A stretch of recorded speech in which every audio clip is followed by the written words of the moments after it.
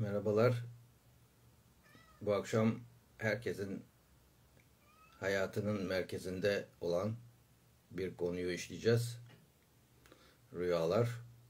Bu rüyalarda pek fazla konuşulmayan birkaç şeyi de söylemeye çalışacağız. Biraz bekleyelim.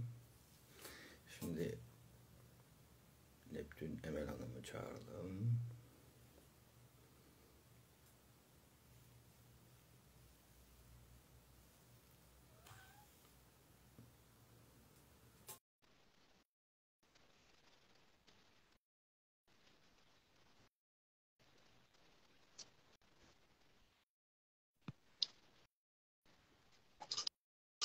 Merhaba, iyi akşamlar. Herkes Merhaba, merhaba. Herkese iyi akşamlar. Hocam merhaba, nasılsınız? bize merhaba diyenlere de merhaba. Ee, Herkese iyi akşamlar. evet, bu akşam hayatımızın merkezindeki en önemli konulardan biri olan rüyalarla ilgili e, bir program yapacağız. Sonra da bir başka ekimiz var, bir başka konumuz var. Onunla devam edeceğiz. Nasılsın? Ee, Emel iyisindir inşallah. Ee, iyiyim hocam. Ee, siz nasılsınız? Ne var ne yok? İzmir Yok. nasıl? İyidir. Sağanak, İyidir. yağışlar. 20 derece, 20-21 derece. Apartmanın bahçesinde e, aralık gülleri açtı. İnanılmaz bir şey. E, yani ısının bu kadar yüksek olması mevsimine göre. Ama arkadan çok soğuk gelecek diyorlar. İnşallah onlar gelene kadar e, bu böyle biraz tuhaf sıcaklıktan yararlanıyoruz. Ama kediler çok memnun. Yağmurlar Ee, yağmurlar durdu. Toprakta çok güzel bir dindelik var. Islaklık nedeniyle o nem çok güzel bir dindelik veriliyor. hı hı. Ama yeni yağmur yok ve güneş var ve temperatur yüksek. Çok iyi, Yani- çok iyi. Evet, İstanbul'da aynı şekilde böyle bahardan kalma bir hava geldi. Ee, bakalım ne kadar sürecek? Böyle bir Sibirya soğukları diyordunuz ama e, bir, çok kısa Evet. sürede gelirse bilmem. Ben buna benzer iklimlerle karşılaştım. Yani burada karşılaştım. Böyle sıcak sıcak sıcak gidiyor. Birdenbire bir soğuk dalgası geliyor. 15 gün, 20 gün. Onu da şuradan anlıyorum. İyi akşamlar Öykü 17'ye bizden de. İyi Ee, akşamlar. hava- havanın, havanın çok soğuduğunu nereden anlıyorum? Sabah bahçeye çıktığımda kedilerin su kabının üstünde buz varsa Hmm. o zaman o bir şeydir. Buzun kalınlığı ince ise ince soğuktur. Buzun kalınlığı böyle iktirdiğimde içeri parmağım girmiyor. Hatta direniyorsa e, bana üstteki buz o, o zaman gece bayağı sıkı e, soğuk geçmiş demektir. Bu şekilde şeylerimiz var. Ölçüm, e, ilkel ölçüm metotlarımız var yani. Evet evet oluyor öyle. Ya, havalar değişken bakalım bu kış nasıl geçecek? Sert mi, ılık mı? İnşallah ılık geçer. Evet. Temennimiz o dışarıdaki bütün mahlukat için en azından. Ayrıca Ee, şeyler.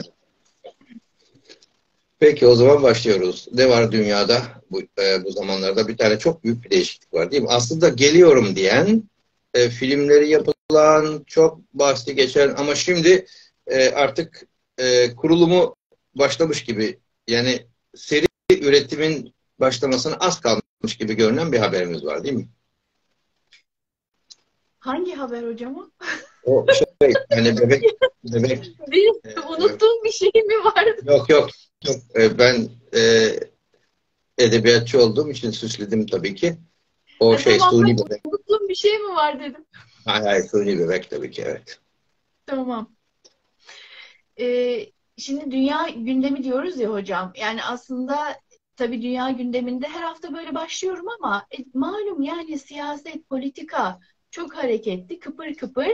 Böyle Evet. adeta e, dizi izler gibi hani arkası yarın diziler izler gibi böyle e, hayır kalmadınız, hoş geldiniz, iyi akşamlar. E, dizi izler gibi böyle oturup takip ediyoruz onları. Onları geçiyoruz. Ee, biliyoruz ne olduğunu. Şimdi hocam sipariş bebekler geliyormuş. evet. Ee, çok da sıcak bir haber. Ee, bu Daily e, Telegraph'ta da, Daily News'ta da, Daily Mail'de de bunların hepsinde geçti bu.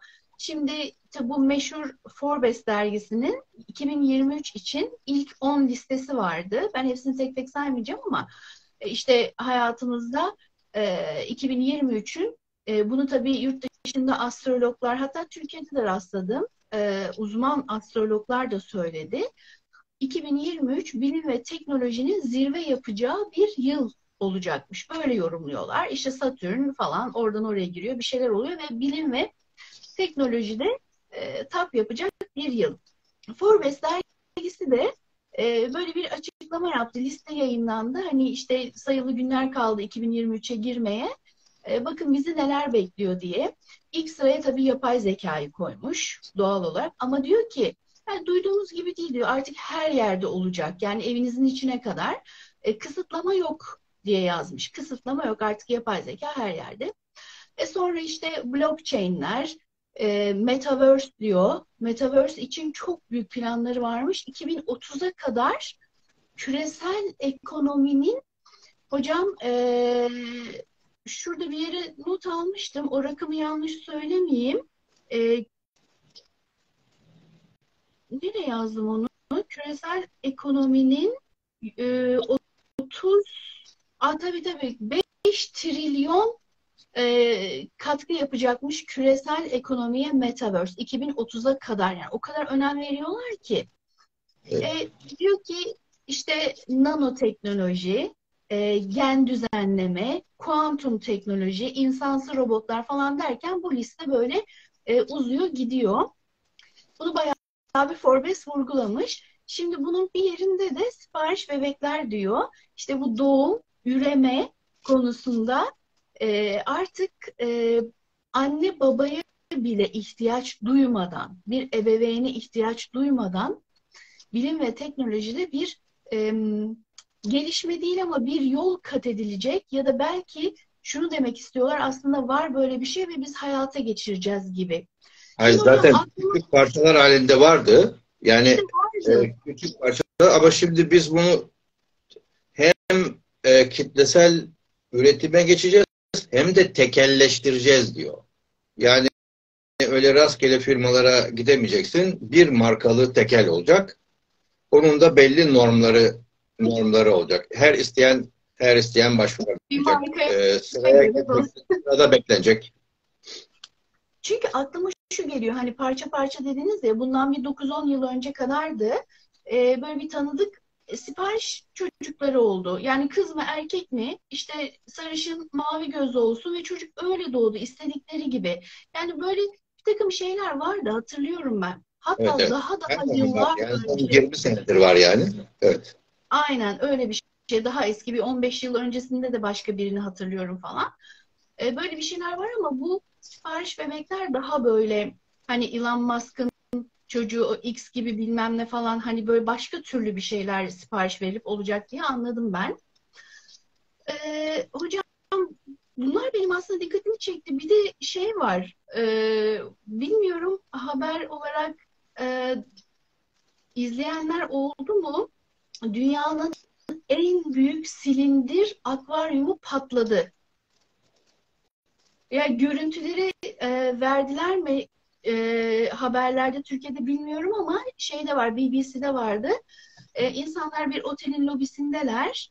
E, dünyanın en büyük silindir akvaryumu bilmem kaç bin ton bir şeyler böyle rakamlar falan. E, onun Biraz... e, çevre e, çeperlere yaptığı basınç müthiştir. Bir yerde sakat bir şey varsa oradan patlatması çok normal. Çok evet. çok deli görüntüler patlıyor akvaryum binlerce tabii balık bilmem ne falan böyle ortalıkta insanlar bayağı otelin lobisinde bir tsunami yaşıyorlar. Acayip bir görüntüydü yani onu da söyleyeyim dedim. Şimdi bunların dışında e, gözüme çarpan bir de bu Kayseri'deydi galiba. Bilenler varsa yazsınlar yanlış hatırlamıyorsam. Geçen gün daha bir iki gün önce havadan tilkileri aşılamışlar ve kuduz aşısı yapıldığı söyleniyor.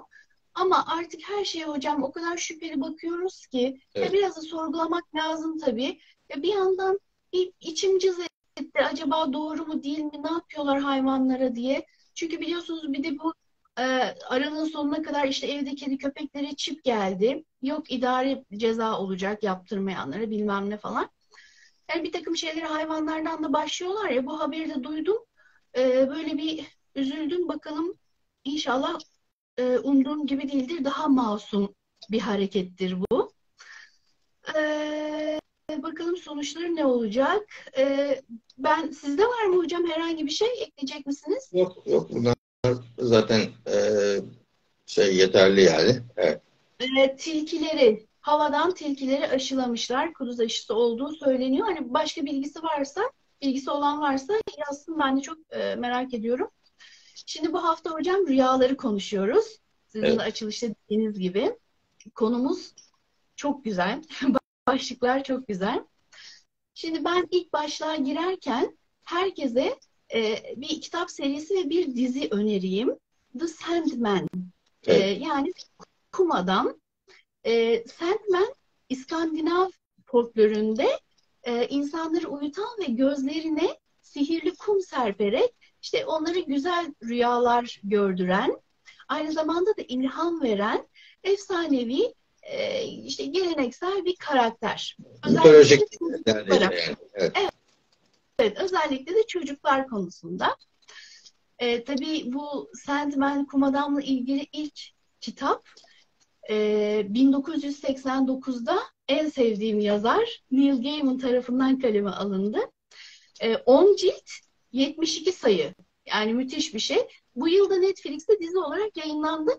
E, işte zaten yarın The Sandman yarın zaten kapağını, kapağını koyacağız. Hem kapak hem afiş, film afişini koyarız. Sandman'in yarın. Evet. E, bu Sandman Netflix'te de dizi olarak yayınlandı. Bir de hocam e, biliyorsunuz böyle kitaplardan uyarlananlar çok birebir olmuyor.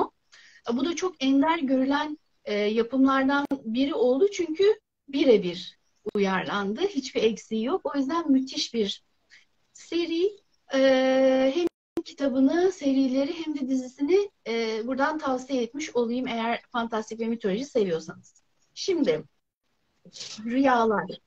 E, eski Mısırlılar, e, Asurlular ve Yunanlarda e, kahin ve büyücülerin en önemli görevlerinden biri de e, rüyaları yorumlamak. E, rüya tabiri konusunda da ilk metinler milattan önce 5000 yılında ortaya çıkmış. E, Asurlular, e, evet, Asurlular tarafından yazılmış. E, bir de Londra'da British Museum'da saklanan bir e, milattan önce 2000'li yıllara ait olduğu tahmin edilen bir Mısır papirüsü var. Bu, burada e, 200 çeşit rüya tabiri olduğu e, belirtiliyor. Kim bilir neler var tabi açıklanmadı sadece 200 çeşit rüya tabiri ama ne?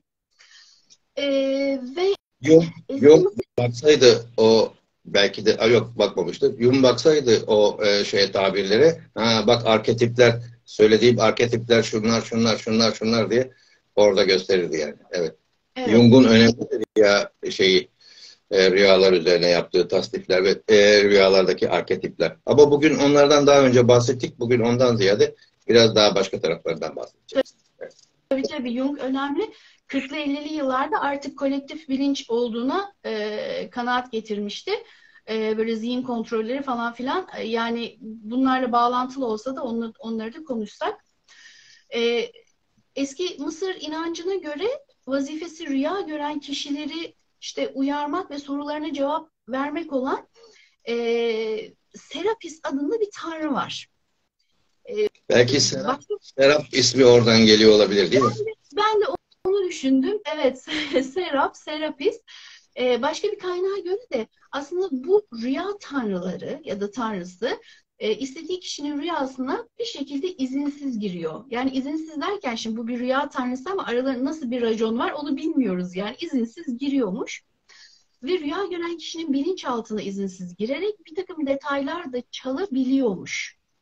E, ya da bilinç aktarımı gibi bir şeyler diyorlar kaynakta. Böyle bir şey de sağlayabiliyormuş. E, bu rüya misafirleri başlığımız var. Biz farklı bir pencereden bakacağız ama onu ama bir de tabii bu rüyaları çalıyormuş ya Serapis. Ee, demek ki Christopher Nolan Inception e, filminde bu Serapis bayağı e, etkilenmiş demek ki. Bilmemesi mümkün değil. E, orada şimdi konusu geldiğinde yani. orada konusu geldiğinde bir şeyi bağlayacağım. Serapisi belki bir daha anacağız yani. Oraya geleceğiz zaten. Evet, evet. Ve evet yani işte rüyalar tabii hepimizin e, yaşamında çok önemli bir yere sahip. Yani rüyaların derin ve anlam yüklü ufku bizi büyülemeye devam ediyor. Evet. E, uyku yani uyku dediğimiz şey aslında kişiyi adeta başka dünyalara götüren bir zihin faaliyeti. Kesinlikle. Ama tabii insanoğlu e, Bak Bergama'da terapist varmış. Aa, çok rüyanın, rüyanın olduğu her yerde serapis vardır. Ayrıca serap kelimesi de kesinlikle o serapisle ilgili bir şey yani. Evet. Evet. evet bakın aklıma gelen, aklıma biraz sonra söyleyeceğim şey unutmayayım diye şimdi söyleyeyim. Şimdi serap ne? Aslında başka bir yerde olan bir şey. Optik e, kırılmayla bir görüntü başka bir yerde. Bir baha mesela çöl var. Baha çok daha ileride ama azıcık bir buhar var. Bir optik kırılma oluyor. Baha sanki hemen yakındaymış gibi görünüyor değil mi? Evet, e, siz evet. koşa koşa e, gidiyorsunuz orada yok. O optik kırılmayla kandırıyor. Ama gerçekten var aslında. Rüyalar da böyle bir şey. Yani rüyalar da belki e, birçoğu gerçekliğin gerçekliği bize anlatıyor. Ama e, hemen erişmek istediğimizde ona serap gibi elimizden kaçıyor. Aynen. Belki birazdan unuturum diye şimdi söyleyeyim dedim. İyi yaptınız. Yani aslında hocam ya biz insanoğlu tabii bu gelecekte e, olacakları e, hani bilme dürtüsüne sahibiz ya o merak var ya. Evet. O yüzden biz tabii hep harekete geçiriyor bu dürtü. İşte o yüzden de insanlar kahinlere, müneccimlere, bir takım kişilere yöneliyorlar.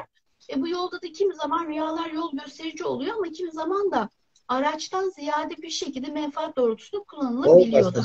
Başka. Mesela annem rahmetli e, bir kahve falında bakarken 20 dakika anlatır, 15-20 dakika anlattığını biliyorum. Evet. E, bugün dedim ki ya Valide Hanım benim yerime sen yaz ya. E, e, yani böyle bir şey. Ben bakıyorum bakıyorum bu kadar şey nasıl anlatılır bir adam işte böyle biraz şöyle tık nasıl kafasında şapka var. E, şurası şöyle bir imkansız. yapıyor. Evet, evet, evet. Çok iyi. Yani bu kültür çok e, canlı bir kültürdür. Şeyden devam edelim. Şimdi rüyanın tipleri. Çok genelleyelim ki biraz sonra rüyanın üzerine inşaat yaparken e, ne olduğu ortaya çıksın. Şimdi e, biz e, şeyde e, kültürümüzde baktığımızda rüyaları rahmani, şeytani ve nefsani şekilde üç parçaya ayrılır. Onlar da kendi işlerinde dalgalanırlar. Ee, mesela şey e, biraz sonra şeytani rüyaların baş şeytanisinden örnek vereceğiz yani. Ee, daha şeytani çok zor olur. Şimdi rüyalar, bilinçli rüyalar vardır. Rüyada kendiniz rüyanın içinde olduğunuzu biliyorsunuz. O rüyalar çok kıymetli. O rüyalarda ben kendim deneyimimden söylüyorum. Bu ne kadar doğru bilmiyorum ama benim yaptığım bir egzersiz vardı rüyalarla ilgili. Mesela bilincinde olduğum e, rüyalara uyandığımda eğer o uyanma böyle sabah e, uykusu değilse gece içinde bir seyirme ya da rüya bitiminde çok rastlanan hafif uyku seyrelmesiyle hafif bir uyanmaysa e, irademle kaldığım yerden rüyaya devam edebildiğim çoktur. Çok defalar bunu başarmışımdır. Başardığımda da sevinirdim. Gene kaldığım yerden rüyaya devam ederim. Sonra bir yerden kopar e, giderdi tabii. Ya da çabalardım çabalardım olmazdı. Başaramazdım. Şimdi bilinçli rüyalar var. Lucid dream diyoruz değil mi? Berrak, berrak rüyalar. E, rüyanın içinde rüyadan rüyanın içinde olduğumuzu farkında olmak. Sonra gerçek rüyalar var. Gerçek rüyalar bunlar böyle sade gerçekler anlamına. Mesela e, size önümüzdeki bir hafta içinde iki tane mektup gelmesi çok olağan. Birilerini eski zamanlar diyelim. Mail de olabilir. E, mektup gibi söyleyelim. Yani siz birilerine mektup yolladınız. Onlar da size tabii cevap yazacak. O artık bugün mü gelir, üç gün sonra mı gelir, iki gün sonra mı gelir? Bunun rüyasını görürsünüz. O iki gün sonra, üç gün sonra, dört gün sonra genellikle gerçekleşir. Mesela hani böyle bu tür bu tür rüyalar vardır. Bunlar e, şeydir, ihtimaller rüyasıdır. İhtimal o kadar büyük ki mektup gelmesi ihtimali. çok büyük olan ihtimal üzerine rüya görürüz. Bunlar daha basit rüyalardır. Güzel rüyalar vardır. Çok zevk alırsınız. Ee, ne gördüğünüz önemli, ne kokladığınız önemli değil, ne yaşadığınız da değil ama bu size çok fazla e, zevk verir. E, çok hoşunuza gider ve keşke bunlardan daha çok görsem deriz ama bunlar işte elimizde değil bunları çok sık görmek. Tekrarlayan rüyalar vardır. Mesela ben bir tekrarla tekrarlayan rüyalar şampiyonuyum. Yani e, kendim bir çeşit e, şampiyonu olduğumu düşünüyorum. Bazı rüyaları 200 defa. Bilmiyorum yani daha fazla da olabilir. yani 10 sene, 20 sene içinde, 30 sene içinde diyelim. Ee, böyle 200 defa falan gördüğüm e, vakidir. Mesela şimdi o rüyalardan herhangi birini anlatmaya kalktığımda daha az önce filmini seyretmişim gibi görüntüler o kadar sarıştır e, zihnimde. Yani bu kadar bu yaşta ve bu kadar zaman sonra. Yani Hepsinin bir anlamı var. Bu kadar tekrar tekrarlamasının bir anlamı evet. var tabii. Evet evet. O nedir acaba? Ee, bizi bir şeyin bir şeyi anlamıyoruz da e, tekrar mı ya da bir şeyi öğrenmek için hani tekrarlarız ya. Mesela sureleri ezberlemek için tekrarlarız. Ee, bir dil dili öğrenirken tekrarlarız. Hani ezberlemek istediğimiz bir şey için tekrarlarız. Hani Hocam o, e, bilinçaltı aslında o rüyanın ilk ilk seferi e, hangi olaydan sonra hangi yaşta başladı? Ne kadar devam etti? Hala devam ediyor mu? İçeriği ne? Yani hangi olayda, hangi yaştayken, hangi süreçte başladı? Bilinç altında bir şey oldu, travma olabilir, bambaşka stres altında bir şeyler yaşanmış olabilir. Çok etkisi olabilir. Yani çok fazla rüyanın içeriğine bağlı takım kriterleri vardır. Yani ben tabii. psikolojik yönünü sadece biliyorum. Başka bilmiyorum. Evet, evet. Bir de tabii şöyle yani mesela diyelim çocuksun. Nereden dikkat edeceksin ki bu acaba şu olayın nedeniyle mi e, olmuştur? E, Şuradan arka plana. soru evet. cevapta anlaşılıyor. Yani ne zaman başlamıştı? O, o çocuklar indiğinde çıkıyor aslında ortaya. Hayır o çok sonradan eğer e, bunu yapmaya vakit bulduysan olaylar daha henüz unutulmadan e, yan yana bütün her şeyi getirdiysen ha bak şuradan şunun şeklinde bir sonuca varılabilir. Ama genellikle bunlar ipin ucu belirsiz e, uçlar belirsiz iplerdir. Bir de çok dehşet bir rüya çeşidi var. Rüya içinde rüya. Ben rüya içinde rüya. E, tabii. E, rüya içinde rüyayı epey gördüm. Yani bayağı çok sayıda rüya içinde rüya gördüm. Çünkü şöyle oluyor. Bir rüyada başka bir mekandayım. Kıyafetim değişik, her şeyim değişik. E, duygu halim falan her şey. Sonra başka bir yere geçiyorum. Öbür tarafta tekrar eski e, rüyaya geçiyorum. Yoksa uyansam asla anlayamam. Hepsi rüya, hepsi tek rüyaydı zannederim. Ama hı hı. E, dönüşte de aynı yerden geçtiğim için e, oradan aa rüya içinde rüya diye bilincini onun bilincine e, vardığım bir zamanlar vardı. Çocukken onları öyle yaşardık giderdi ama hani akıl bali olduktan sonra diyelim. E, yani böyle kabuslar var. Tabii Nightmares değil mi? Mesela İngilizce ismi gece atı gece atı anlamına gelir. Geceleyin böyle siyah kapkara bir at böyle insanı korkutur. Hani böyle şeytanın yolladığı ne yaptığı korkutan bir şeydir. Ee, biz ise kabus şeklinde o, o kelimeyle söylüyoruz. Yani böyle rüyalar e, böyle böyle e, bu çeşitlerdir. Aşağı yukarı ama nefsani, rahmani, şeytani ana branşlardır. E, bu anlattıklarımızın her biri nitelikleri yönünden bakıldığında sütunlardan biri de girerler. Evet. Evet. Hatta hocam e, aslında e, tamam bilinçaltı, zihin bunların hepsi birazdan onu da konuşacağız. Hepsi bir etken. Aslında biliyor musunuz o gün gündüz ya da akşam e, yediğiniz yemek, aldığınız besinler bile rüyayı etkiliyor. Kesinlikle. Ağır yedin, hafif yedin, yağlı yedin, light yedin fark etmez ama bir şekilde etkiliyor. Yani Doğru. onların da bir açılımları var aslında. Onun, o da ayrı bir konu ama baya baya yani ben saat 6'da yemeği bıraktım, çok da hafif yemiştim falan. Olsun. Ne yediysen gün içinde o şekilde de etkileyebiliyor. Böyle de bir e, durum var yani. Böyle bir bağ var e, böyle bir bağ var rüyayla besinler arasında o doğrudur. Ayrıca tıka basa yemek de kabusa rol açtığı yol açtığı çok söylenir. Yani çok söylenir. İttifakla söylenir yani. Ee, o çok bilinen bir şeydir. Evet. Evet. E, bu lucid dream dedik tabii hocam. Evet. Yani rüyaların kontrol Bilincinde olmak, rüyanın bilincinde olmak. net, Bir de rüya. açık. Evet. Rüyanın bilincinde, rüya gördüğünün bilincindeyim demek her şeye istediğin gibi dikkat edebilirsin. Ee, unutmayayım diye. Ee, tekrar tekrar okuyabilirsin. Ee, mesela gördüğün şeylere daha dikkatle bakabilirsin. Belli şeylere odaklanabilirsin. Ama kendin rüyada olduğunu fark etmediğinde sürükleniyorsun. Yani rüyanın farkında olmak, dikkatini istediğin yere odaklamak. Eski dille ne derdik? Tekstif etmek. İstediğin gibi e, odaklanmaktır. Yani e, o çok önemli bir ayrıcalık olur. E, o bir idmanla idmanla lucid dirimler artırılabiliyor. E, onun belli bir e, idmanları var yani. Evet. Evet, rüyada farkındalık.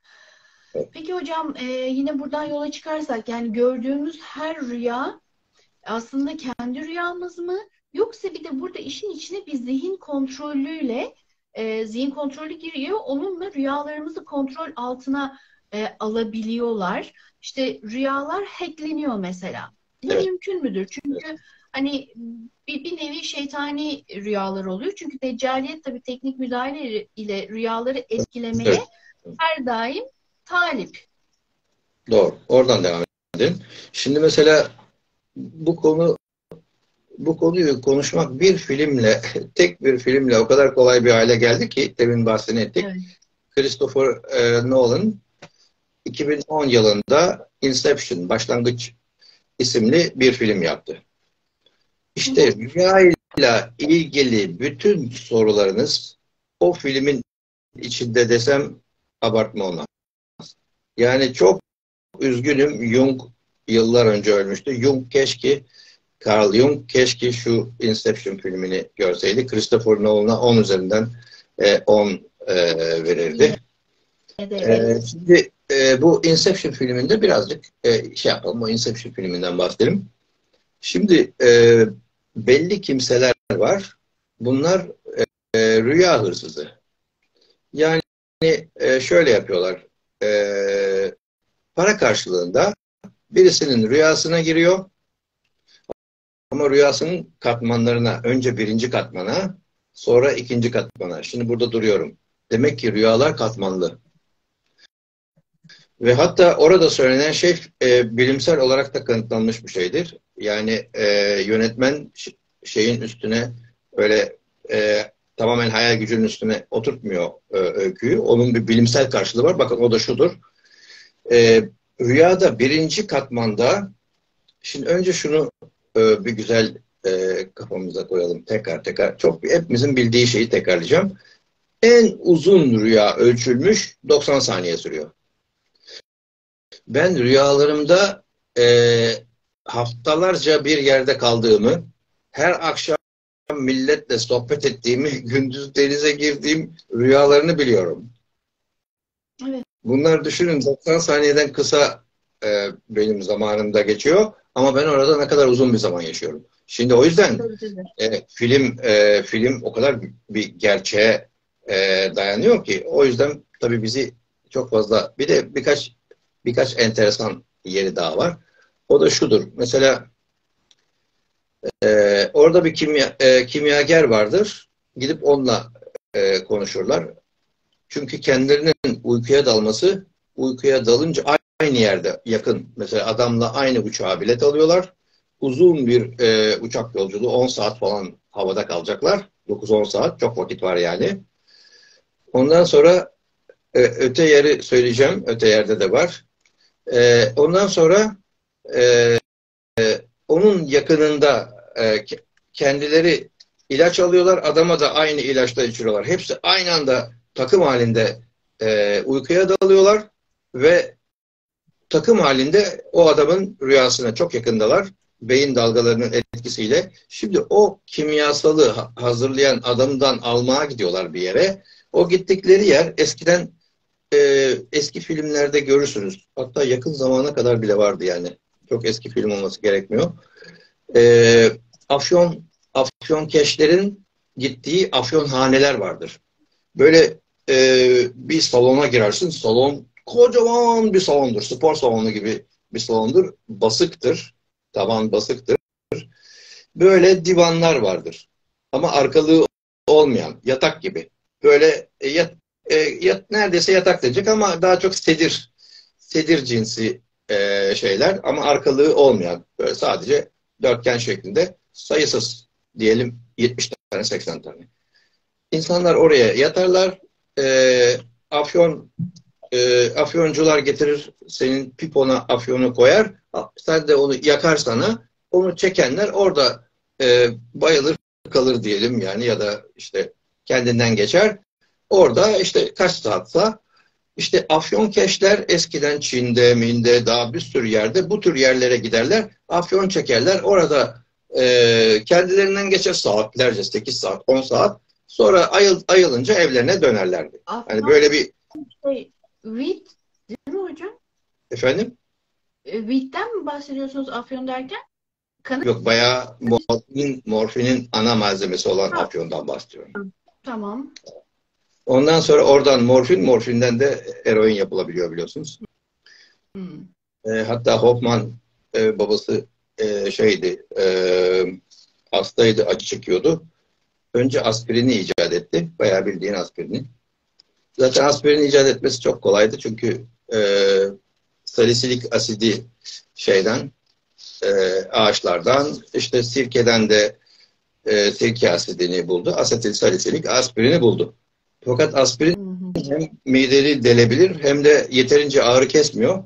Daha koyu bir şey ne bulabilirim dedi. Elde tabii morfin var o sırada.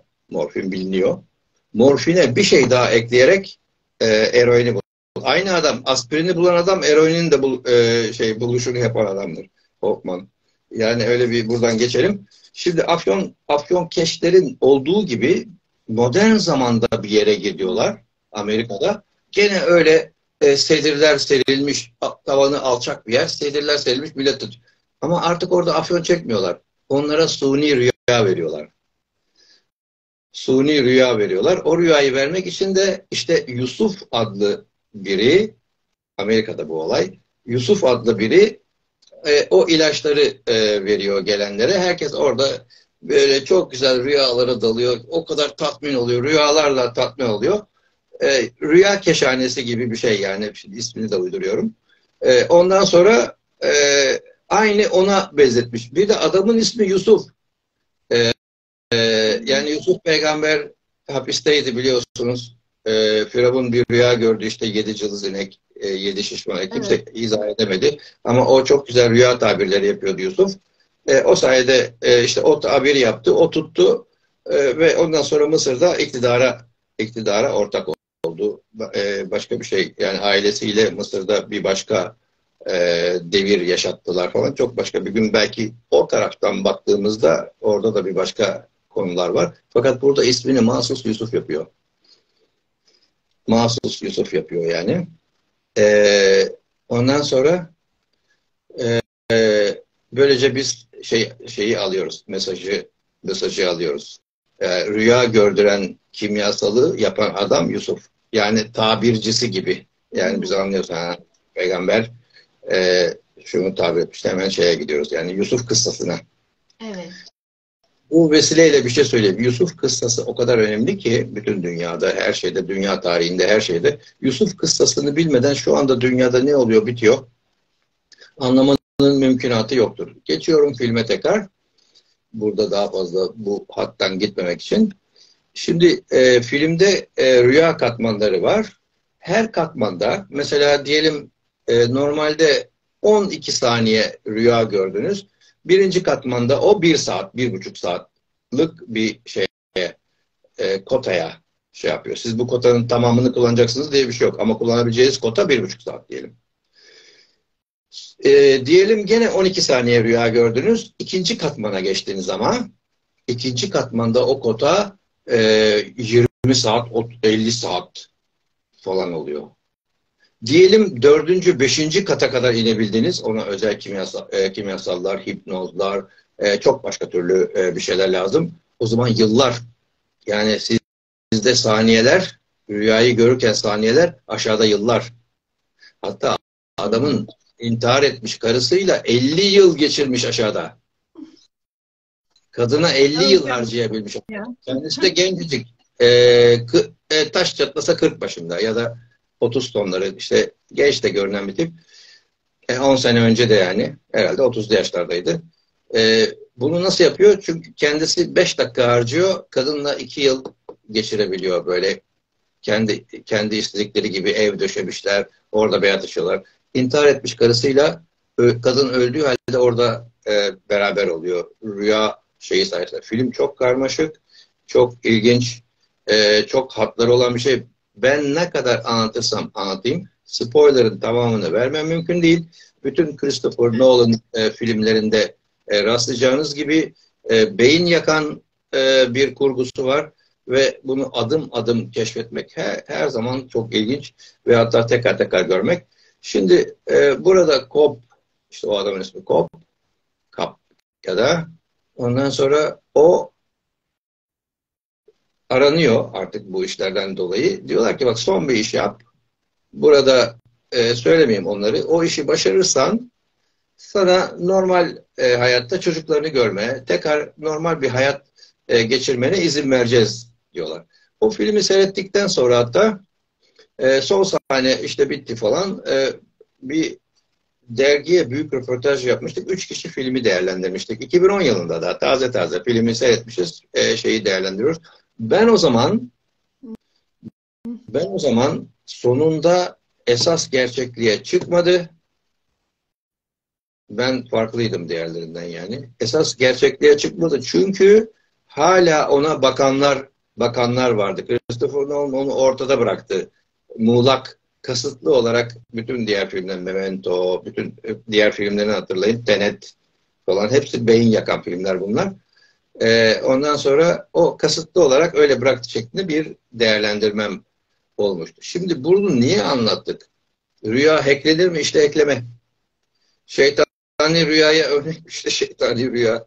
Birisi e, adamın için rüyasına giriyorlar. Adam bir bir işi yapmaya karar verecek. Bir miras kalmış ona. O işi yapmasın, vazgeçsin, oraya yatırım yapmasın, e, başka bir şey e, yapsın diye. Yani adamın iradesiyle vereceği kararı etkilemek için yapıyor. E sana şimdi orada da çok kötü bir şey de değil. Yani adamın o tercihi yapması orada o an için o seçimde e, kötü bir şey değil. Ama ne kadar kötü e, sonuçlara da sağlayabilir değil mi? Ona da dikkat yani ona da şey işte şeytani buradan örnek verilebilir. Bu film e, bu filmle bir de tabii design, mizayn, e, kurgusu ondan sonra e, böyle dekorların çünkü rüya alemi ya istediğin dekoru yapabiliyorsun. O dekorların değişmesi falan bir görsel görsel şölen aynı zamanda. Ve ne kadar anlatsam da çok zevkle, hala çok zevkli. Hiç görmeyen varsa ya da gören varsa bir daha seyretsin. Ne kadar katman şey yapacak. Çünkü filmin tamamından bahsetmek mümkün değil. Evet, evet. Çok iyi bir film gerçekten. Evet. Hocam bir de e, bazı rüyalar da, nefsani rüyalar da e, zaman zaman değişik farkındalıklara kapı açabiliyorlar. Yani adeta bir düş ikizliği gibi. Evet. Tam olarak nedir düş ikizliği? Onu biraz açar mısınız? Şimdi e, ruh ikizi deniyor ama çok e, suyunu çıkarmışlardır yani kibar bir şekilde suyu diyorum. E, çok e, suyunu çıkartıyor. İşte benim ruh ikizim, benim ruh ikizim diye bir iki, iki kişinin fotoğrafını görüyorsun. Bir ay kalmadan birbirlerine hakaretler e, falan e, ruh ikizleri kopmuş birbirinden. Ama ruh ikizi demekle insanın e, onu anlayan, anladığını zannettiği yani e, biz olumlu taraftan bakalım. E, zannettiği bir şeyi bulmaktan bir hoşnut olmak var değil mi? Yani dalga boyu denir. Hani dalga elektrik almak şeklinde söyleniyor. O başka bir şey ama dalga boyu. Ben dalga boydaş diyorum. Yani dalga dalga boylarının frekansların böyle e, tutması. O frekanslar tutunca e, bir başka türlü anlaşma oluyor e, insanlar arasında. Şimdi e, düşler de öyle. Her düş kendi frekansına, kendi manyetik alanında sahip. O manyetik alana çok benzeyen başka bir manyetik alan. İşte acı e, mesafe tabii mutlaka bir rol oynuyordur ama e, bazı şartlarda mesafe rol oynamaz. Mesela Şimdi kuantum fiziğindeki son gelişmelerle e, böyle em, e, şeylerin mesela elektronların bazı alt parçacıkların birbirleriyle e, evrenin bir ucundan diğer ucuna çok hızlı haberleşebildiğini e, öğrenip bir küçük e, şok geçirdik yani bundan 20-30 sene kadar önce. E, şimdi de onu e, şey yapan, e, çürüten bir buluş yapılmadı. Demek o doğru. Yani o o şekilde gidiyor. Evrenin kendi içinde inanılmaz bir e, şey var. Şimdi bileşik kaplar vardır bilirsiniz. E, böyle ortaokulda öğretirlerdi. Bir tane büyük, bir tane incecik, bir tane e, yuvarlak, bir tanesi alçak, bir tanesi yüksek kaplar var. Hepsi alttan birbirine e, bağlı. E, su, bakarsanız su seviyesi aynı seviyede durur. Kap nerede olursa olsun. işte bileşik kap teorisi odur. Yani e, birbirine bağlı kaplardaki su eşit hizada durur. Eğer rüyalar da bileşik kap gibi birbirine bağlanabiliyorsa ki kesin bağlanabiliyor. Çünkü ben şimdi bir de rüya misafiri var. Oradan kendi anım, anılarımı anlatacağım. Ee, düş, düş e, ruh ikizi olduğu gibi düş ikizi de olabilir. Bir tane filmini yapmışlar. Yani filmi yapan da şey yani Güney Kore. Evet. İsmi şey Be Mong Rüya 2008. Onu hepsini afişe koyacağız. Çok kısa anlatalım. Hiç şey yok. Bak e, çok basit. Spoiler falan yok. Bir kadın var. Bir rüyada bir kabus görüyor. Kabusta bir trafik kazası olmuş. Sonra o trafik kazasını haberlerde olduğunu görüyor. Sonra da o trafik kazasına neden olan e, biriyle bir ilişkisi olduğunu anlıyor. O kadar söyleyeyim. Ama bu e, düş ikiziyle ilgili bir şey. Bak filmi de var yani. Filmi de var. Ve kesinlikle e, mesela rüyalarınıza dikkat edin. E, mesela düş ikiziniz olabilir ama nereden tanışacaksınız? Bir tanesi Yeni Zelanda'da olabilir. İkizlerinizden biri Yeni Zelanda'da olabilir. Ömür, ömrünüz boyunca onu hiç asla görmeyeceksiniz. Ama belki zaman zaman hissetmek ya benle bu aynı rüyayı gören e, biri var. Mesela şu anda paylaşıyoruz. O da güzel bir duygudur. Tek değilim. Yani bunu bu sadece bana değil. Hani başkaları da var. E, bu aradaki bağ sayesinde zamanda yolculuk peki hocam?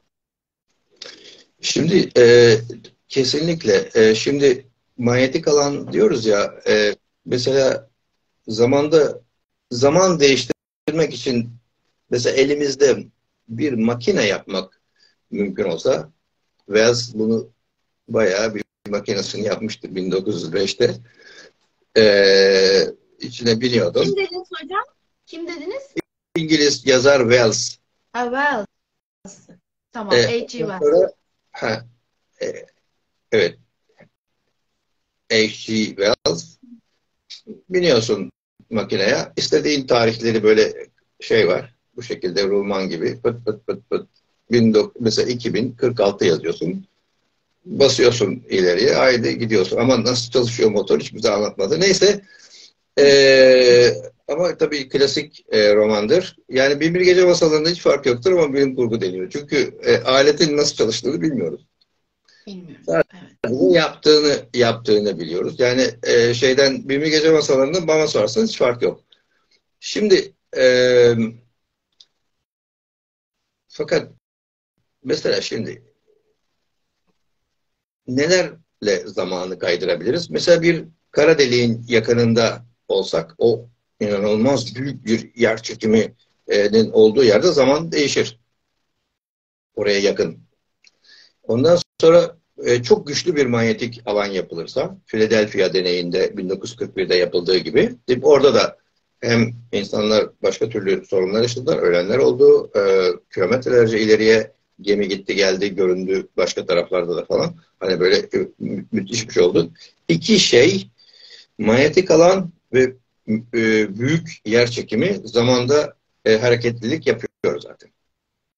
Hı hı. Bunlar da evrende çok boldur. Yani kara deliklerimiz istemediğimiz kadar kara delik var. Her tarafımızda e, manyetik alan e, kaynıyor.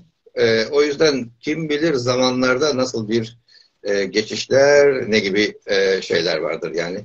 E, bunları e, işte fizikteki gelişmelerle yavaş yavaş daha e, daha yakından, daha derinden deneyliyor hale geleceğiz. Deneyimliyor hale geleceğiz yani. Evet. Evet. E, hocam rüya misafirleri demişken hemen girelim isterseniz ona Ben tam olarak. demin, demin az kalsın söyleyecektim kendimi tutamayıp. Ee, şimdi Bu rüya misafirleri. şimdi rüya misafiri şöyle oluyor. Be- ben benim kendi öznel e, deneyimimi anlatıyorum. Herkes için aynısı geçerli demiyorum. Şimdi beni dinleyenler yazsınlar e, yorum kendi yorumlarını. Şimdi ben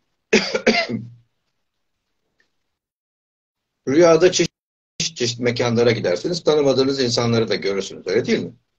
Şimdi gene ona benzer. Yani diğer rüyalardan farksız böyle bir serüven yaşıyoruz rüyada. Dur bakalım bir yerden bir yere gidiyoruz. Kapılar açıyor, bir, birileri giriyor falan.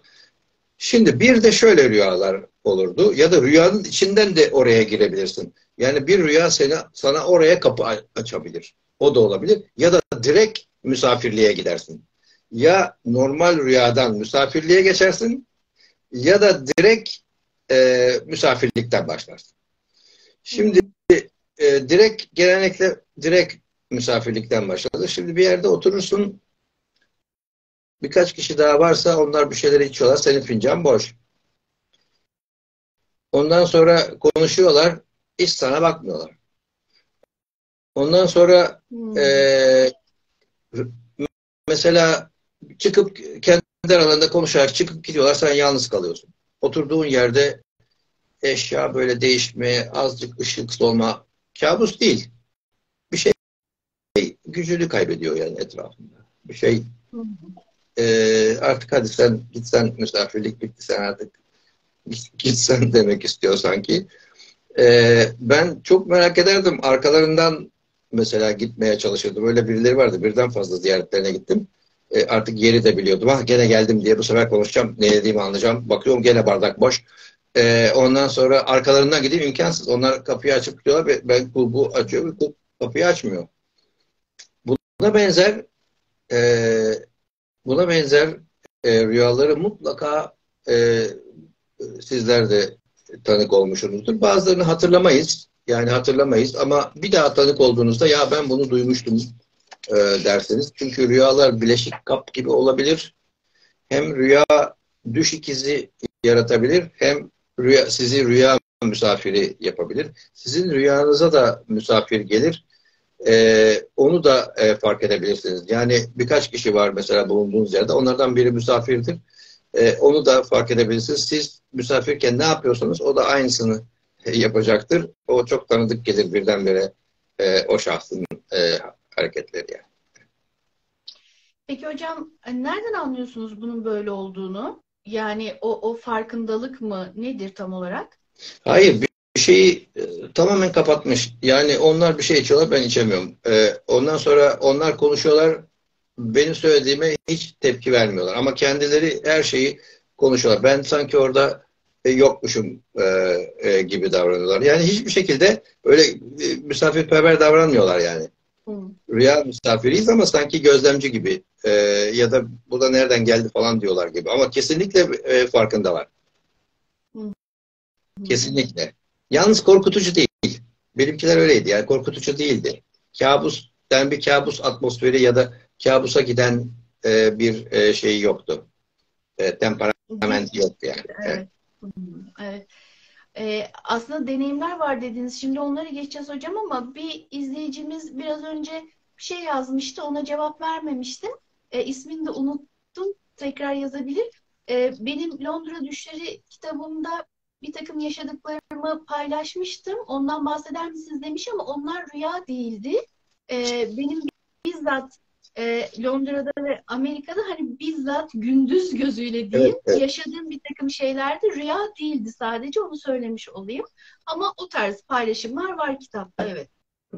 Şimdi bir, bir yoruma cevap vereyim. Evet evet görmemez diye geliyorlar ve bunu takım halinde e, yapıyorlar. Yalnız e, farkındalar. Hani hiç görmüyorlar gibi değil. Hani orada hayalet pozisyonunda oturulmuyor. E, farkındalar. Bal gibi de farkındalar yani. O zaman ben de diyorum ki bize de misafir geliyorsa benim de misafiri fark etmem lazım ama tersi rüyaları hatırlamıyorum. E, Evet. O tersi başka bir şey. Demek ki birileri ya misafir ya öbürü ya da misafir kabul eden diye iki takım mı var acaba? Değil mi? Kendi rüyamızda gelenleri e, görmemiz başka bir farkındalık değil mi hocam? Yani Ben şimdi onu berraklık ve farkındalık var. E, o zaman bizim rüyalarımıza gelenleri de biz ignore mi ediyoruz? Ama onun da misafir olduğunu mu biliyoruz? Nasıl davranıyoruz? Misafir olduğunu bilmeden e, onu görmezden geliyoruz. Aldırmıyoruz ona. Misafir olduğunu bilinci şart değil. Ama mesela sabah uyandık. E, gördün işte anneni, babanı, kardeşini, birilerini gördün. Bir de tanımadığın işte bir kız çocuğu vardı yanında ya da bir, bir kadın vardı, bir adam vardı. Onu da uyandığında hatırlıyorsun ama kim olduğunu bilmiyorsun. Hiç de konuşmamışsın onunla. Sadece yanınızda durmuş. O misafir mi mesela? Böyle tanımlayabilir miyiz? Yani o tam tam onu e, onu e, kesin bir şey söyleyemem ona. Evet, farklı bir şey de olabilir. E hocam deneyimler demişken isterseniz girelim sizin Onu deneyimlerinize. Şimdi e, rahmetli anneannem e, beni devamlı izleyenler bilirler. E, bu işlerde çok e, şeydi, gönül gözü açık e, biriydi. Hatta o kadar ki e, kahve falı e, ona kahve falı baktırmazlardı. O- onun bakacağı faldan korkarlardı. Hmm. Mesela annem ballandırarak yarım saat anlatırdı. Şöyle adam, böyle adam, şöyle bir e, şey çıkacak, kısmetin çıkacak kız, genç mesela evlilik e, yaşında olan ya da tekrar evlenmek isteyen bir hep kadın kadına ya bu muhabbetler. E, ondan sonra işte şöyle olacak, böyle olacak. Deme ya nasıl bir adamdı bir daha anlat falan. E, öyle e, çok şeyler koy. Üç vadeye kadar para gelecek biliyorsunuz. Hediye gelecek. E, önce mektup gelecek sonra hediye gelecekmiş. Mesela böyle ballandırma e, şeklinde fakat anneanneme asla rahmetliye fal baktırmazlardı yani. Şimdi e, anneannem bir gün bir rüya görüyor. Bu rüyada iki uzak akrabamızı, iki kardeş bunlar. İki uzak akrabamızı görüyor. Halbuki o, e, o şahıslarla hiç kontağı yok. Yani hemen hemen artık yıllarca görmemiş onları. Ona rağmen onları rüyada görüyor. Üçü birlikte böyle yeşillerdeydik. Yeşillik bir yerdeydik. Çok yeşillik bir yerdeydik. Çok güzeldi Ben- diyor. Ne mi dondu? Siz görüyor musunuz? Ben e, ben duyuyorum. Ee, geldi. Geldi hocam. Tamam. We are back. Şimdi e, yeşillik bir yerdeydik o üçümüz diyor. O kendisi hariç diğer ikisi erkek ve kardeş bunlar. Şimdi e, anlatıyor onu. Bir ay içinde annem artık tükenerek uykusunda ölüyor yani. Çok Allah herkese nasip etsin. Ondan sonra son güne kadar öyle aklı başında tuvalete de gidebilerek falan yani hiç hastanelere düşmeden falan. Ondan sonra eee, o iki erkekten bir tanesi bahçede çalışırken kalp krizi geçirip orada kalıyor. Diğeri de iş yerinde kalp krizi geçirerek o da orada kalıyor. Bir ay içinde üçünü de gömüyorlar yani. Hı. Böyle şoke, şoke oluyor herkes. Gene e, Cemile Hanım gider ayak e, son şeyini yani son şeyini yaptı diye teşekkür ederim. E, son kerametini gösterdi diyelim yani. Böyle böyle biriydi yani böyle biriydi. Şimdi e, ondan beni annem gibi baktığı için her dakika beraber olduğumuz için bir de kendisinin gözünden görebildiğimiz aramızda inanılmaz bir telepatik bağ da vardı. E, tabii e, ben de çok etkilenmiş biriydim. Ben de uygundum öyle tahmin ediyorum. E, o uygunluk ama artı onun dibinde olmak, birlikte olmakla. Mesela benim de bir gün şimdi 60'lı yıllardayız. Dediler ki işte bizim ben İstanbul'da, annem İstanbul'a gelin gitmiş. Ben İstanbul'da doğdum. İki, iki buçuk yaşından itibaren İzmir'e döndük tekrar. İzmir'de büyüdüm. Şimdi İstanbul'daki evi anlatıyorlar onlar kendi aralarında. E ben biliyorum dedim e, Kurtuluş'taki evi. Sen nereden bileceksin ya? E, iki yaşındaydın. E, o evden ayrıldık. İsterseniz dedim anlatayım. Nasıl anlatacaksın? İşte şöyleydi böyleydi. Misafir geldi. Anlatamadım. Onlar misafirlerle e, uğraştılar. Ben de çocuğuz yaz günü. Böyle divanda kıvrılırken uyudum gitti. Rüyamda bu evdeyim. Rahmetli annem, rahmetli anneannem bir sahne gördüm. Renkler, perspektif, böyle kafama, şimdi de görüyorum yani anlatırken. Kafama kazındı böyle. Kafama kazındı. Sonra dedim ki e, misafirler de gitti. Ali dedim e, az önce konuşuyorduk da hani misafir geldi. E, sen o evi hatırlayamazsın. Ben dedim şimdi oradan size bir sahne anlatacağım. Anlat bakalım dedi. Annemin üstünde dedim yeşil bir elbise var. Kolsuz. E, hatta şuralarında dedim böyle işlemeler var şöyle kapalı. Böyle işlemeler var. E, bir elbise. Demek ki yaz. Ondan sonra e, şurada e, bir divan var. Karşısında dedim iki tane koltuk var. Ben bu koltukta oturuyorum. Yüzüm kapıya yüzüm kapıya bakıyor. Bana e, işte şey verdiniz. Keşkül ya da muhallebi. Ben o muhallebiyi yerken üstüme döktüm. E, annem dedi ki aa gene mi döktün falan dedi. Sen de şunu dedin. Şimdi çok fazla ayrıntı vermeyeyim. Sen de bunu dedin, bunu dedin. Tam siz şimdi ne yapalım, neyi temizleyelim derken de kapı çaldı, postacı geldi dedim.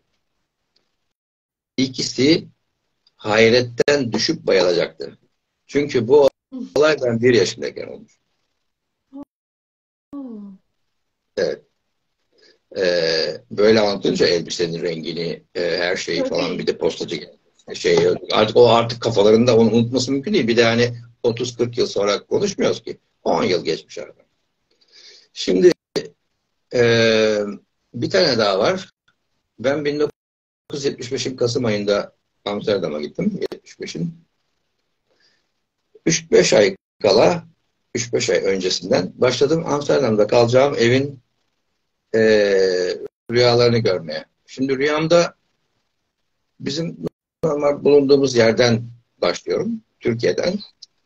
Sonra bir evin kapısına geliyorum. Allah Allah diyorum bu ne kadar tuhaf bir mimari. Çünkü çok eski bir şey. Yani özel bir mimari değil ama çok eski bir bina ve o çok tipik Amsterdam binası. Bir daha onlardan hiç yapmadılar. Onlar eskidikçe yıkıldı, eskidikçe yıkıldı. Eskidikçe yıkıldı. Yenileri yok bir daha. Ya. Birinci Dünya Savaşı sırasında yapmışlar falan yani belki. Ya da hemen sonrası.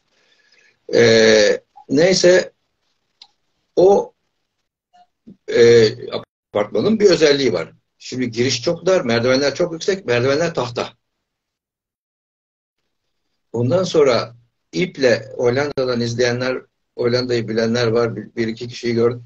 İple kapıyı açabiliyorsun yukarıdan. Böyle o ip bütün katları dolaşarak aşağı iniyor. İple kapı açılıyor. Yani böyle bir şey benim bir Amerikan filminde o sırada Hollywood filmleri seyrediyorum. Yani Avrupa filmleri de işte Fellini'ler falan var. Yani bu, bu bina yok. Yani bu binayı göreceğim. Nerede? Bir de içine giriyorum. Ee, birinci kata çıkıyorum. Hakikaten birinci katta kaldım. Ee, hani bu kadar bu kadar. Yani dört ay beş ay önceden e, o evi defalarca ziyaret ettim. Sonra ilk kaldığım ev o değil. En çok kalacağım en hayati değişik benim üzerimdeki hayati değişikliği yapacak evdir. Çünkü oradan bir yana evrileceğim yani o evden. İlk geçici e, kaldığım yerden oraya geldiğimde bak rahmetli dayım ayarladım sana dedi. Sahibi İtalyan dedi. Böyle kapıyı açtı. Zile bastık. Kapı açıldı iple. Böyle merdivenlere girdim. Şoke. E, şoke. Yani böyle ensemdeki kıllar e, e, dikleşti. Böyle çok tuhaf bir e, halde e, gittim. Bunları anlatacağım. Gene atmasyon e, Sadık'ın hayal gücü falan şeklinde pek ciddiye almadılar anlattığımda ama ben çok etkilendim. Tabii beni çok e, olumlu anlamda etkilemişti yani. Çok hani iyi. söylemek istediğim şu, söylemek istediğim şu e, maddeyle, zamanla e, ve başka şeylerle çok daha dinamik, canlı e, bir ilişkimiz var. E, işte bakın bu çok basit basit bir şey bu aslında. Hani olağanüstü bir şey değil. Bir yerde kalacakmış. Onu önden e, görüyorsun. Ama mesela bu e, eğer bunu görebiliyorsam başka bir şeyleri de e, görmek mümkündür değil mi? Hani buradan Kesinlikle. yapılacak egzersiz ya da bu burada, buradan geliştirilecek yetenek nelere şey yapabilir ama ben bunun böyle e, çok az bilinciyle ama böyle bir şeyi yaşamanın verdiği e, ne diyelim zevkle bunları böyle geçiştirdim ama hiçbir zaman üzerine çok e, böyle e, hedefe yönelik pratik yapmadım. Evet. E hocam aslında sizde rüyalar da bitmez. Bir de rüyaların dışında başka deneyimleriniz var. Böyle paralel evrenler falan. O, çok var, çok var. Çok Onlar da bitmez aslında. Evet. Evet. Evet. Yani bir nevi herhalde öyle olmuş kesinlikle. Şimdi e, alt başlığımız kirli algoritma. E, algoritmalar bir şekilde kirlendi hocam. E, buna değineceğiz. Evet. Yani nasıl kirli algoritma oldu? Tam açılımı nedir? E, oradan girersek böyle birazcık da e, sosyal medyaya falan da değiniriz. Yani aslında önemli Tabii, şeyler biraz- var. Biraz tekrar e, şeye döneceğiz. E, günümüze ve yakın gele bugüne ve hemen yakınımızdaki e, günlerin gündemine geliyoruz şimdi. Evet. Şimdi e, bu konuşacağımız şey şu anda başımızda olan bir şey. Gelecekte olması muhtemel bir şey değil. Yani şu, şu bu anda yaşadığımız bir şey. Mesela kirli e, algoritmadan bahis şu. Mesela yapay zekayı, basit yapay zekayı mesela telefonda size cevap verebilir. E, ondan sonra e, işte size yol yordam gösterebilir bir yere girdiğinizde. Şimdi şunu tuşlayın, sonra bunu yazın. Sonra kendinizle ilgili şu bilgiyi verin. Şimdi buraya bir tercih yapın. Sonra değil mi? Buna benzer. Hı. Şimdi bu kadar basit bir algoritmada bile kirlilik var şu anda. Bu basitlerde bile bir kirlilik var ve dünyanın gündemi şu anda. Az önce de Metaverse bahsi geçerken bak şimdi parantez açıyorum. Mesela şimdi Metaverse hemen birileri Metaverse benim Metaverse'üm, benim içerideki malım mülküm e, bizim Metaverse'ümüz e, işte senin Metaverse'ün, onun Metaverse'ü. Halbuki e, Metaverse'ü ciddiye alan, Metaverse'lü bir e, gelecek yaşayacağımızı bilenler, bu işin e, bilinçli insanları artık diyorlar Metaverse demeyelim, Multiverse diyelim. Multi, multiverse diyelim diyorlar. Multiverse e, diyelim. Çoklu e, evrenler yani. Hani e, üst evren değil, çoklu evrenler. Hatta birazdan o Goblin Goblin modu konuşurken e, mesela Metaverse kelimesi aslında ben beklerdim ki Metaverse kelimesi bir defa yılın birinci kelimesi olsun diye değil mi? Mesela olamadı. E, çok ilginç. E, belki Multiverse bir dahaki sene olur. Şimdi bakın şöyle kirleniyor e, şey algoritma. Daha bu giriş, daha bu başlangıç biraz sonra mesela biraz sonra yaşamımızın her şeyini, her anını e, yapay zeka denetlediğinde bu kirlilik böyle devam eder ya da e, hatta artarsa çünkü burada biraz kirlilik varsa bu artacak demektir.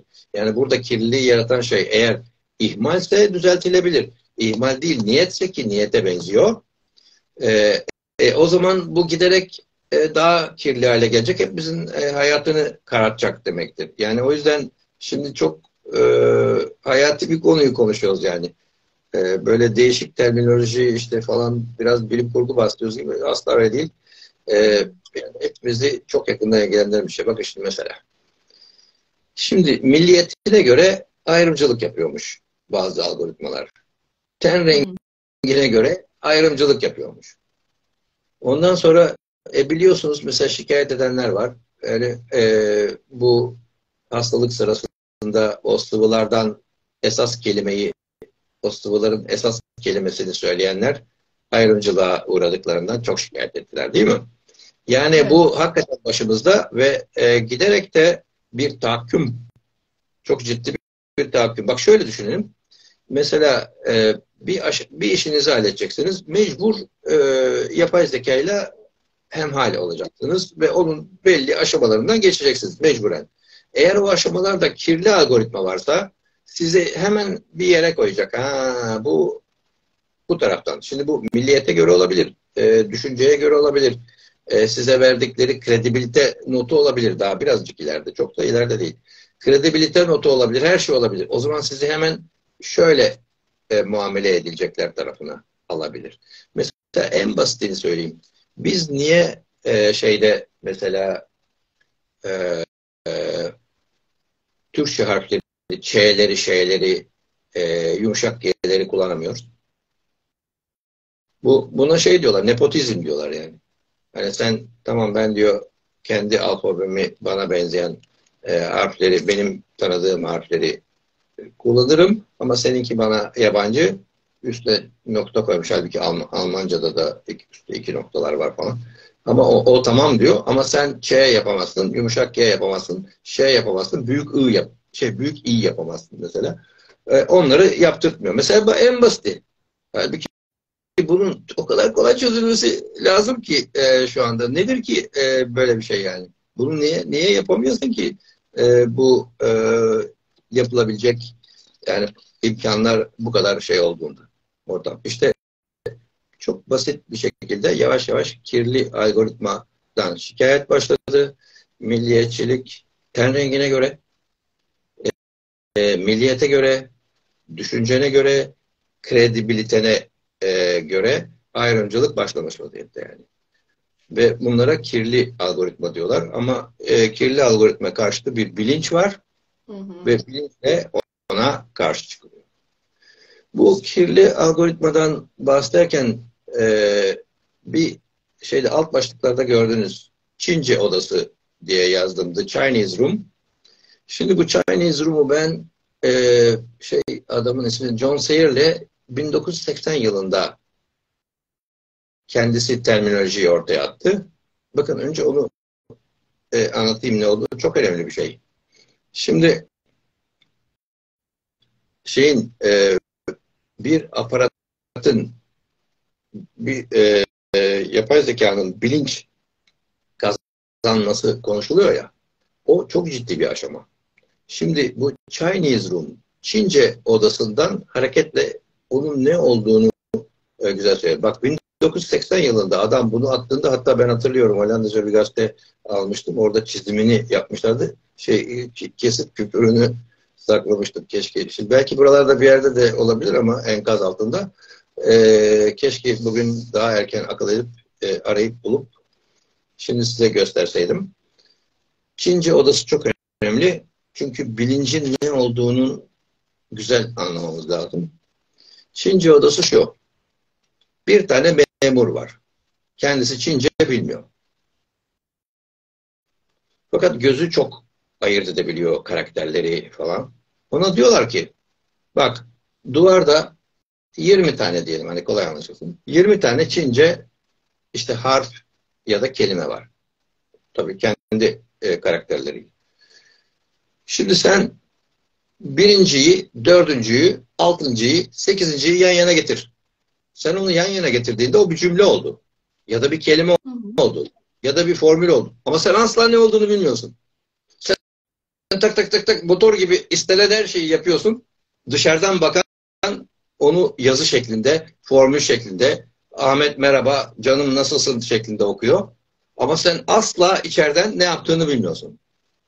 Yani makina e, Çince odası şeklinde. Onun bilinci yok. Çok güzel anlattım. Çok güzel anlattım. Şimdi bilinç evet. Çince e, makinenin, yani. makinenin Çince öğrenmesiyle olacak. O, o çok ilginç e, bir şey olacak. Yani o yüzden e, Çince e, zaten yapay zekanın Turing testini, bazı kimseler Turing testini geçti diyorlar. Turing testini geçeceği tarih 2029 diyenler var. 2035 deniyordu.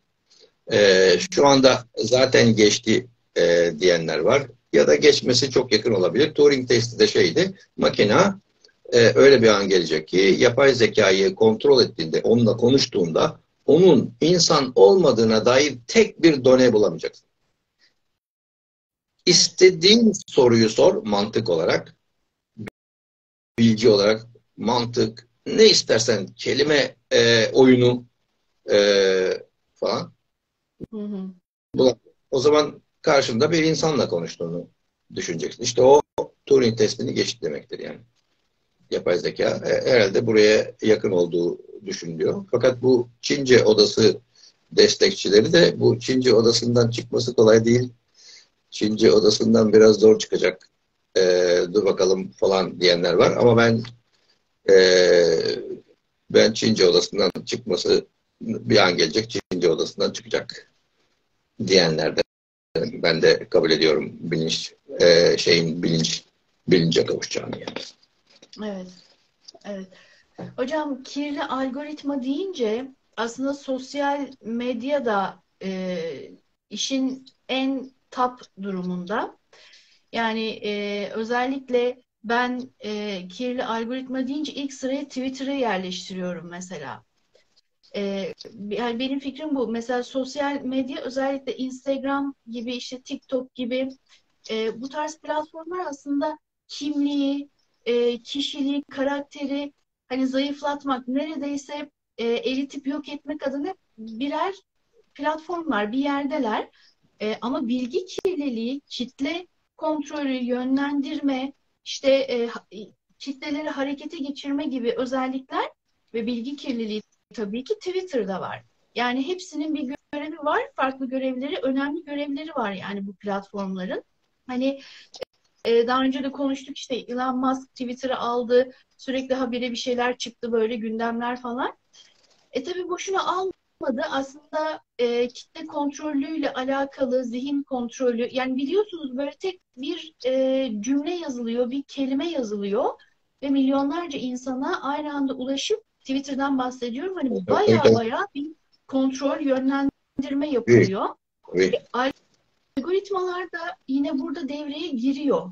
Evet. Yani kitle kontrolü anlamında, yönlendirme, harekete geçirme anlamında ben bütün bu e, platformların yani en masumu demeyelim ama işte Instagram evet böyle bayağı karakteri falan zayıflatıyor. İnsanların böyle neredeyse sıfıra e, eritip düşürdüğü bir platform. TikTok sıfırın da altında falan. Hani pek çok özelliğe sahipler ama e, Twitter çok farklı bir yerde. Yani kirlinin e, en kirlisi gibi geliyor bana. Şimdi e, bilgi kirliliği başka bir konu.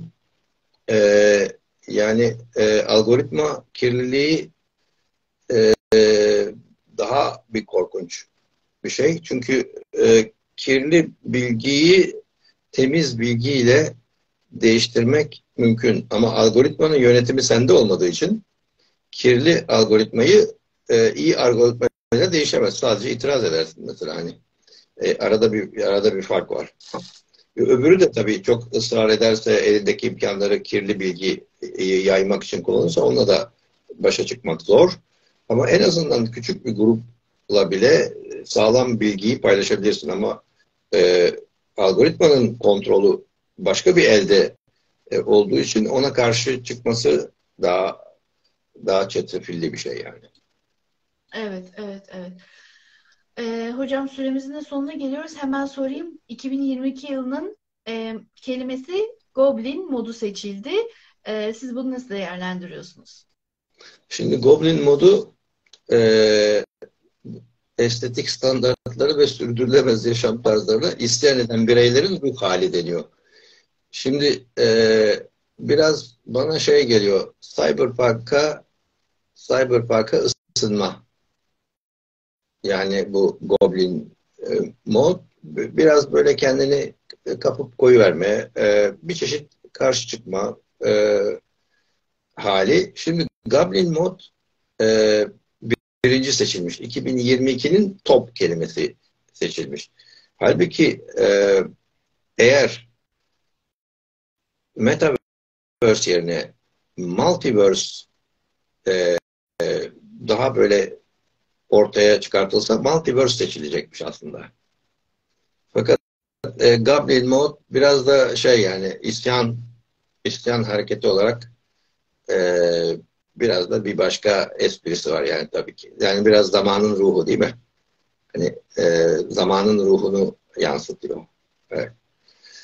Bakalım seneye 2009 yılında ilk defa kullanılmış. Şimdi 2022'nin Ocak ayında Goblin Mode viral viral olmuş. Demek ki bir e, öfke var, bir e, isyan e, hareketi var. Daha çok gençlerin e, yaptığı bir şekilde kapıp koyu veriyorlar kendine. O zaman ben de diyorlar sen, sen, senin bu istediğin herhangi bir şeyi e, şey yapmıyorum. E, uymuyorum buna yani. Ben başka türlü davranacağım diyor. E, dur bakalım.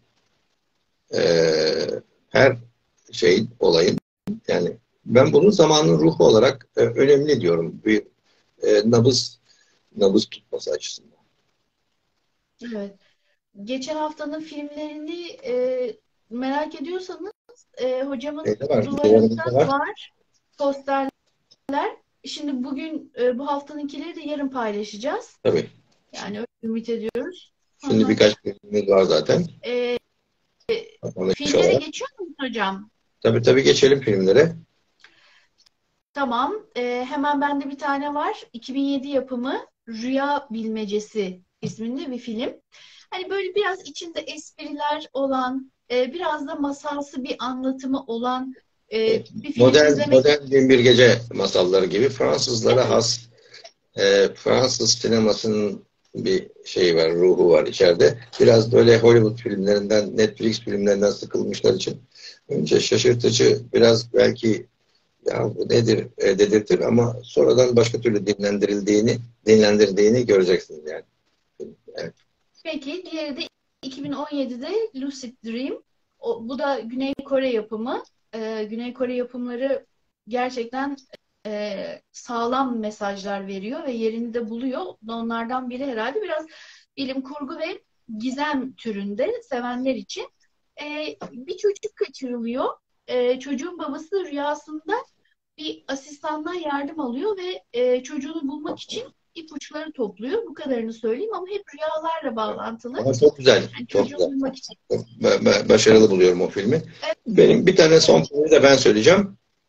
Vanilla Vanilla Sky Sıradan Gökyüzü ismiyle Türkçeleştirmişler. 2001 yılı e, filmi. Bu aslında İspanyolca yapıldı önce. O film çok e, tuttu İspanya'da, Avrupa sinemasında hatta e, alternatif sinemalarda. Sonra Hollywood bunu e, böyle Tom Cruise'lu bir şekilde e, şey yaptı. Tekrar onu e, filmleştirildi.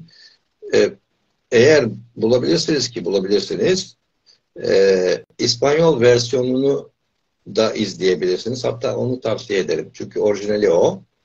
Şimdi e, çok zengin, şımarık, playboy e, bir adam var. Bir korkunç bir trafik kazası geçiyor. Yüzü parçalanıyor. Bir seri ameliyat geçiyor ama yüz düzelmiyor. Korkunç bir yüz var artık. Eski o onunla kimse gören böyle kaç, kaçacak gibi bir yüz var. Fakat e, ameliyatlar oluyor, ameliyatlar oluyor, yüzü düzeliyor. Tekrar estetikle düzeltiyorlar. Yalnız yüzü düzeldikten sonra tuhaf bir şey e, olmaya başlıyor. Bakın hiç spoiler yok. Kabus görüyor. Kabusta e, aslında yüzü düzelmemiş, yüzü hala böyle e, o korkunç e, vaziyetteymiş. Herkes ondan kaçıyormuş. Sonra uyanınca rahatlıyor. Oh diyor. E, nasıl bir kötü kabusmuş falan. Siz gerisini siz keşfedin. Vanilla zaten e, şeye koyacağız, listeye koyacağız. E, çok çok ilginç, çok güzel yapılmış filmdir. İkisi de iyi yapılmıştır. Yani birinin de hakkını yemiyorum. E, ama İspanyol yapımında daha bir ruh var. Daha bir e, yapımcının hani kendi hikayesi olduğu için e, bir e, ruh var. Belki o ruhu tercih edersiniz. E, Vanilla Sky'ın İspanyolcası falan yazarsanız e, oradan e, rahatlıkla bulabilirsiniz. Ben ikisini de çok başarılı film olarak değerlendiriyorum. E, yarın işte bunu listeye koyacağız. Evet. Evet. E, bu hafta rüyaları konuştuk. Evet. Yani e, aslında rüyalar yine böyle bir programa sığmayacak bir konu. Bir sürü alt başlığı çıkabilecek bir konu.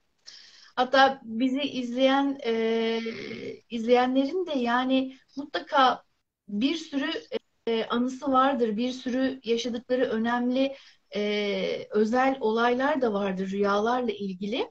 Ama tabii saatler yetmez yani onları paylaşıp Yok. e, burada anlatmaya ya da bizimkileri. Ama e, neticede rüyalar hayatımızın vazgeçilmez bir parçası ve önemini sürdürecek. Yani nice e, önemli hatta sıra dışı şahsiyetlerin rüyaları tarihi değiştirdi, çağı değiştirdi. Yani Evet. köklü radikal değişikliklere e, en azından ipucu oldu ya da ışık tuttu diyelim. E, bir sürü olaylara e, ipucu oldu. O yüzden çok çok önemli. Hocam ağzınıza sağlık. İzleyenlere de teşekkür e, edelim. E, çok çok teşekkürler izlediğiniz için. Önümüzdeki hafta inşallah görüşmek üzere diyelim. Yeni bir konuyla e, ben de hepinize izlediğiniz için burada beraber e, böyle samimi bir grubuz.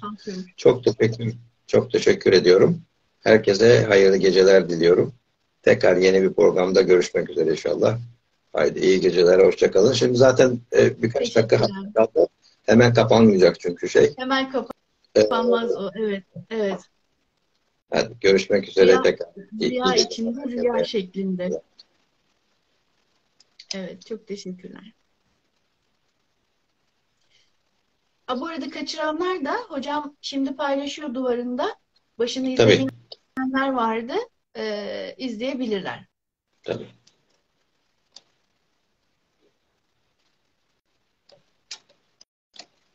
İyi geceler. Biz de teşekkür ederiz.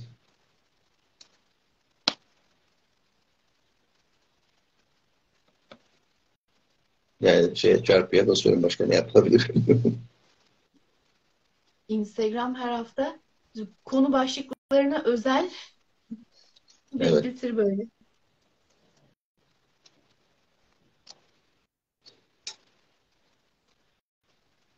Bir de tabii e, Carl Jung, e, Jung'un çok güzel rüya örnekleri vardır onunla ilgili. Yani onlar da anlatılabilir ama öyle rüya bir programda e, yapılıp bitirilebilecek bir şey değil. Onu bir daha Evet. yeri geldiğinde. Bakalım. Mutlaka konuşalım. Tamam.